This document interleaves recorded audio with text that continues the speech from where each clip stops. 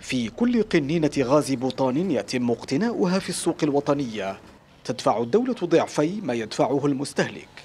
يقدر سعر قنينة من حجم 12 كيلوغرام مثلا بأربعة دولارات فقط بينما تصل قيمتها الحقيقية في بعض الأحيان إلى 13 دولارا. بفارق تسعة دولارات يغطيها صندوق الدعم إلى جانب سلسلة مواد أساسية كالقمح اللين والسكر.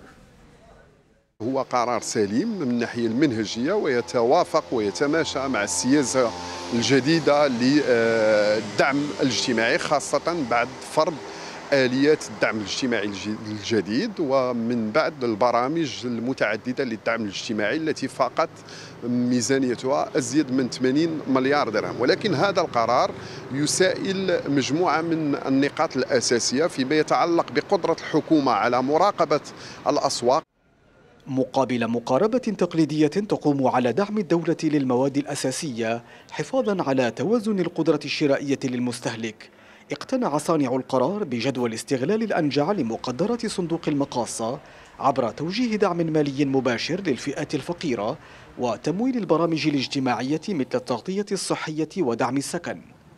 وقد يكون صندوق الدعم كذلك ملاذا للحكومة لتمويل الزيادات التي أقرتها في رواتب الموظفين والأجراء ضمن مخرجات الحوار الاجتماعي. تخوفات المشروع هو غياب إجراءات مواكبه كما حصل مع الامر المتعلق بالمحروقات. غياب أيضا آليات لحماية القدره الشرائية خاصة لدى الطبقة المتوسطة. الأمر هنا أن قطاع الغاز غير مرتبط أساسا بالاستعمال المنزلي هو مرتبط بالاستعمال الفلاحي وبالاستعمال في الخدمات وعدد من القطاعات الأخرى كالصناعات البسيطة. وبالتالي الأمر هنا ربما سيأتي بمخلفات وآثار اجتماعية صعبة جدا.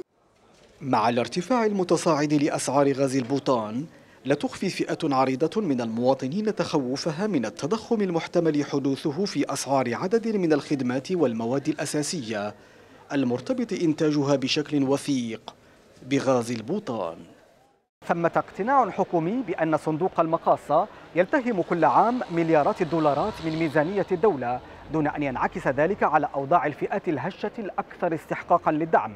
لذلك تجري المراهنة على توزيع دعم مالي مباشر على الفئات الفقيرة وتيسير الولوج إلى الخدمات الاجتماعية لتحسين عيش فئات عريضة من المجتمع. عزيز فتحي سكاي نيوز عربية الرباط.